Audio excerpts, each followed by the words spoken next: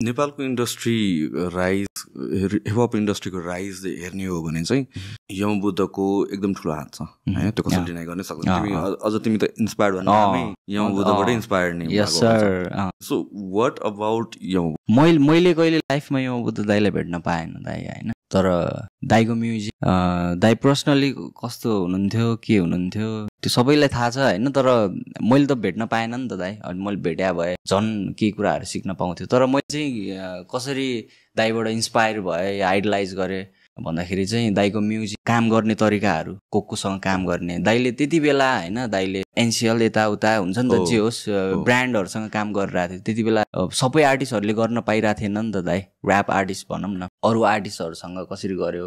आफू मात्र होइन कि दाईले अरूको लागि पनि धेरै गरिदिएको हो। यम बुद्ध तिमीले भने जस्तो नट जस्ट ऱ्याप आर्टिस्ट तर एउटा अन्टरप्रिन्यर पनि र यस सर।